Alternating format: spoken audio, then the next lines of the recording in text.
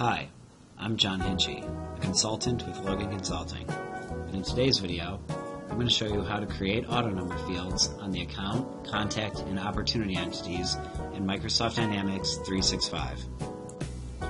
Within Microsoft Dynamics 365 for Sales, you can use the auto number functionality to give a unique identifier to many records for certain entities. Navigate to Settings, Administration, and click Auto Number.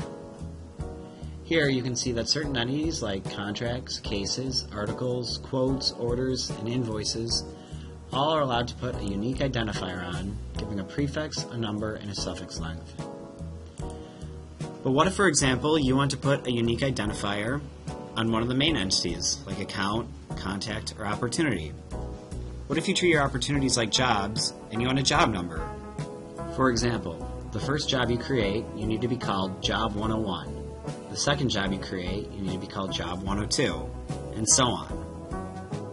Well, now, with CodePlex, Microsoft's free open source project hosting site, you can download a solution to put an auto number on any entity. Simply navigate to the CodePlex site and search for the CRM 2015-2016 auto number and download the solution. Save this to your computer, go back to your CRM, and navigate to Settings, Solutions, and import your newly downloaded CodePlex solution. Choose your file.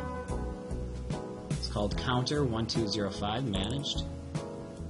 Click Next. Click Next again. Make sure Enable any SDK message processing steps is checked, click Import.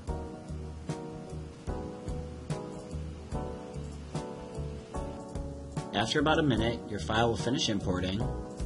Click Close, and publish all customizations.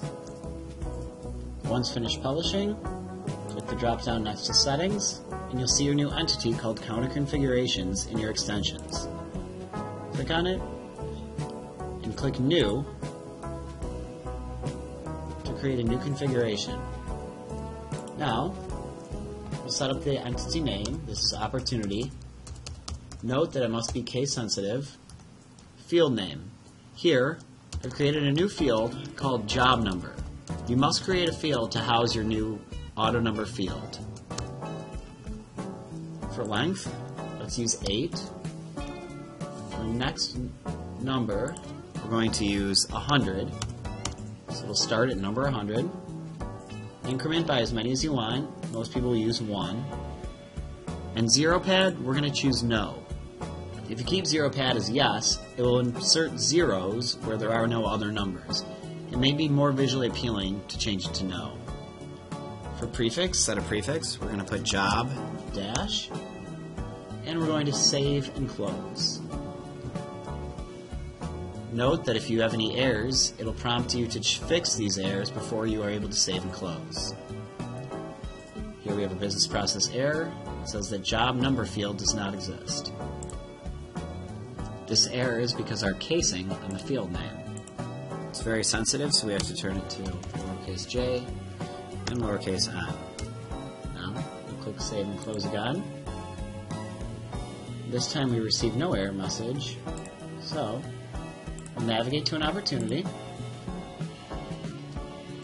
create new, test auto number. See, here's our job number field. Save.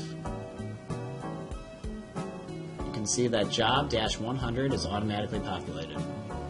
Note that it will be important to keep this as a read-only field.